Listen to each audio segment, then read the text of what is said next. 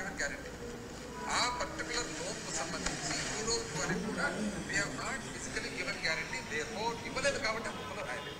ఇవ్వక ముందు రాస్తారండి సో మంత్రి గారు ఏం చెప్తున్నారంటే మేము ఎటువంటి గ్యారంటీలు ఇవ్వలేదు కాబట్టే మేము ఆ పుస్తకంలో రాయలేదు అన్నారు. మరి ఇవాళ నేను మీ ముందు కొన్ని డాక్యుమెంట్స్ని రిలీజ్ చేస్తున్నాను.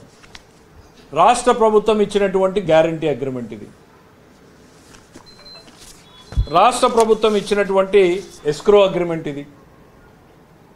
రెండు రాష్ట్ర ప్రభుత్వం చేసినటువంటి ఒప్పందాలే. ఆ బ్యాంకులతో ప్లస్ ఏపీ డెవలప్మెంట్ కార్పొరేషన్తో కలిసి చేసినటువంటి ఒప్పందాలు.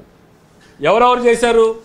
దీంట్లో guarantee agreement dated November fifth twenty twenty the governor of state of Andhra Pradesh and banks financial institution set out in the schedule Andhra Pradesh state development corporation SBI trustee సంతకాలు పెట్టారా?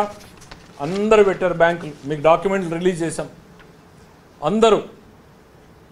ఇటు రాష్ట్ర ప్రభుత్వం తరఫున జీవోలో ఏ అధికారిని అయితే మెన్షన్ చేశారో ఆ అధికారి సంతకం పెట్టాడు. మరి బ్యాంకుల తరఫున ఎవరినైతే నామినేట్ చేశారో ఎస్క్రో ఒప్పందంలో వాళ్ళు నా- సంతకాలు పెట్టారు. మేము ఏం నమ్మాలి? మీరు జీవోలు ఇచ్చారు. జీవోలు ఏమని ఇచ్చారు? మేము బ్యాంక్ గ్యారంటీ ఇవ్వడానికి ఫలానా అధికారికి అధికారాన్ని ఇస్తున్నామన్నారు. ఆ అధికారం మేరకు ఇక్కడ ఒప్పందాలు మాకు కనపడుతున్నాయి. మరి మీరేమో మేము ఒప్పందాలు చేయలేదు అంటున్నారు. ప్లస్ ఆ ఒప్పందాలను అగ్రిమెంట్ని చదివితే దాంట్లో ఎన్ని షరతులు మీరు ఏ రకంగా పెట్టుకున్నారు? ఒక ఒక ఒక- ఒక్క ఒకే ఒకటి చదువుతాను. Confidentiality. The bank shall keep confidential all the information furnish to it. ఏంటండి? అధికారిక ఒప్పందాల్లో రహస్యాలు ఎందుకు ఈ రహస్య ఒప్పందాలు ఎందుకు ఇది ఇద్దరు వ్యక్తుల మధ్య జరుగుతున్నటువంటిది కాదే. ఒకవైపు ప్రభుత్వం మరోవైపు కార్పొరేషన్ మరోవైపు పబ్లిక్ ప్రభుత్వ రంగ బ్యాంకులు. మీ ముగ్గురు మధ్య జరుగుతున్నటువంటి లావాదేవీల్లో ఒకవైపు శాసనసభకు తెలపాలి అన్నటువంటి నిబంధనని మీరు అతిక్రమించారని మేము భావిస్తుంటే మరోవైపు మీరు ఒప్పందాల్లో రహస్యాలేంటి? ఇవి వెల్లడించకూడదు అంటూ షరతులు ఏంటి అంటే ఎవరి వద్ద నుంచి దా రహస్యాలు దాచాలనుకుంటున్నారు? శాసనసభ నుంచా ప్రజల నుంచా లేక సిఏజీ నుంచా లేక కేంద్రం నుంచా లేక ఆర్బీఐ నుంచా? ఎవరి నుంచి ఇవి దాచాలనుకుంటున్నారు? మీ మీ ఓకే ఈ అగ్రిమెంట్లు మీరు చేయలేదు. మేము ఏదో సంతకాలు పెట్టాం ఆ తర్వాత బ్యాంకులకు మా మీద అపారమైన ప్రేమ వచ్చింది నమ్మకం వచ్చింది. ఇవన్నీ వద్దు చించేసాం మేము అనుకున్నారు అనుకోండి చెప్పండి. ఇదిగో మేము సంతకాలు పెట్టింది వాస్తవం. ఆ తర్వాత మా ఇద్దరి మధ్య ప్రేమలు చిగురించే మాకు మా మీద నమ్మకాలు పెరిగాయి కాబట్టి మేము ఈ ఒప్పందాలు వద్దనుకున్నాం చించేశామని చెప్పండి. నేను మంత్రి గారేమో ఇవ్వలేదంటారు. దాంట్లోనే ఇచ్చినటువంటి బ్యాంక్ నంబర్లలో ఒక రెండు క్యాజువల్గా ఫోన్ చేసి అడిగాను. అయ్యా పలానా దానికి మీరు ఏదో గ్యారంటీ ఇచ్చారా? ప్రభుత్వం అంటే సార్ మాకు గ్యారంటీ ఉంది అన్నారు. బ్యాంకులేమో ఉన్నాయంటున్నారు. మీరేమో గ్యారంటీలు లేవంటున్నారు. కోర్టులోకి వెళ్తేనేమో ఎస్క్రో చేయలేదంటున్నారు. ఎస్క్రో అనేది చాలా పెద్ద సబ్జెక్టు. అది ఎప్పుడైనా డీటెయిల్డ్గా వెళ్తాం. మీరు చాలా ఒకే ఒక్కటి. మీరు అగ్రిమెంట్లో రాసింది ఏం రాశారు? The guarantor confirms that as the condition president to the grant of the facility it has identified deposits which will transfer A R E T originated from such deposits directly in to the escrow account.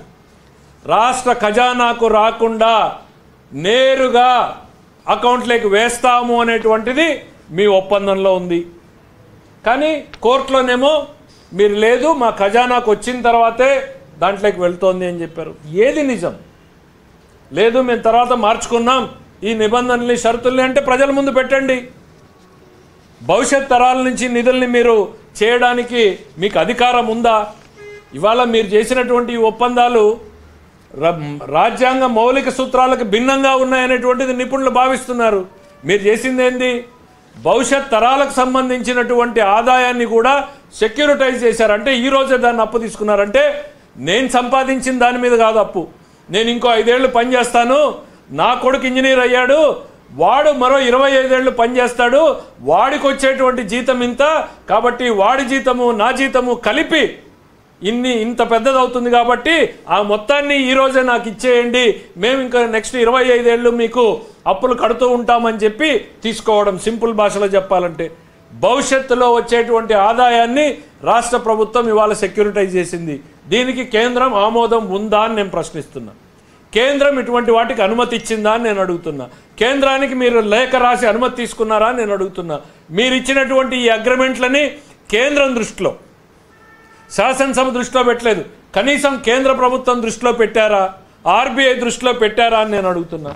ఇంకా మీరు ఎటువంటి ఎటువంటి clauses దాంట్లో sign చేశారంటే ఒకసారి బాధేస్తుంది. అంటే వాళ్ళ బ్యాంకులు అడిగాయి. Waiver of sovereign im immunity అని. అంటే మామూలుగా అగ్రిమెంట్లో సంతకం పెట్టేది ఎవరు అని అంటే రాష్ట్ర ప్రభుత్వానికి పెద్ద గవర్నర్ కాబట్టి గవర్నర్ గారి తరఫున అధికారులు సంతకాలు పెడుతూ ఉంటారు. పెట్టేటప్పుడు చాలా జాగ్రత్తగా పెడతారు. కానీ ఇందులో వాళ్ళు విధించిన షరతు ఏంటనంటే waiver of the sovereign immunity అంటే సార్వభౌమాధికారం ద్వారా లభించేటువంటి రక్షణని కూడా మేము వదులుకుంటాము అని రాష్ట్ర ప్రభుత్వం సంతకం పెట్టింది. సార్వభౌమాధికారం ద్వారా లభించే రక్షణ అంటే ఏంటి? గవర్నర్ మీద ఎవరు కేసులు పెట్టలేరు. భారత రాష్ట్రపతి మీద ఎవరు కేసులు పెట్టజాలరు? అది భారత రాజ్యాంగం వారికి ఇచ్చినటువంటి రక్షణ. అంటే దాన్ని కూడా వదులుకుంటున్నారా మీరు?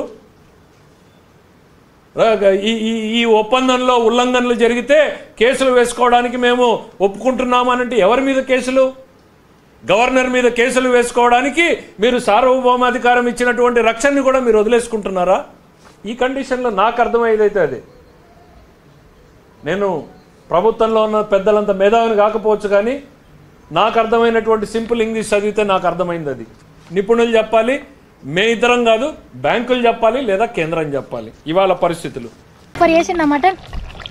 కిర్రా కట్టెల పొయ్యి మీద మటన్.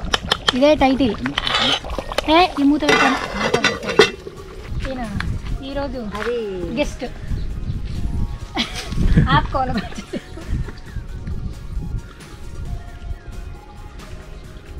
ఉడకలేదా?